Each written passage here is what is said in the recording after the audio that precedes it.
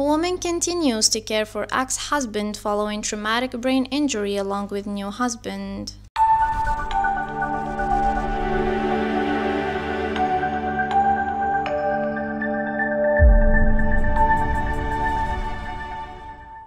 A woman still cares for her ex-husband following his traumatic brain injury and her new husband even helps out.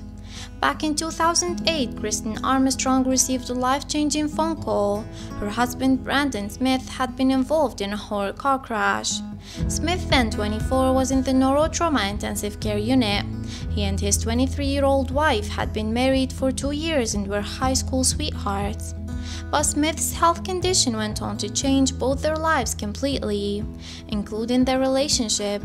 Smith ended up in a coma for two months and was moved into a Texas nursing care facility as he required constant care. They couldn't tell me if he was alive or not. Armstrong, now 38, told Today.com. I remember asking my mom, What will I do if Brandon is gone? Even though Brandon's doctors warned me that if he did wake up, he would be forever changed because of his severe traumatic brain injury, I held on to hope that a miracle would happen and he'd be the same Brandon. But he wasn't. Every morning I woke up and I was hit by this train of sadness. I was grieving a living person and that was very complicated and isolating. She'd planned to spend the rest of her life with her soulmate, dreaming of having Smith's kids, but when she learned he'd never be the same again, Armstrong decided to get a divorce. But when she made this gut wrenching choice, she did promise to look after him forever. Armstrong later married her new man, James Armstrong, in 2015, and pretty extraordinarily, he is helping care for Smith too.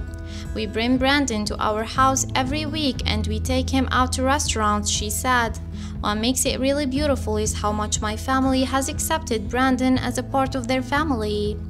The devoted ex-wife now shares TikTok videos of their life, with a clip of her new husband feeding her old one in a restaurant getting over 7 million views. She wrote in the caption, So grateful for this man who not only chose me but chose B too.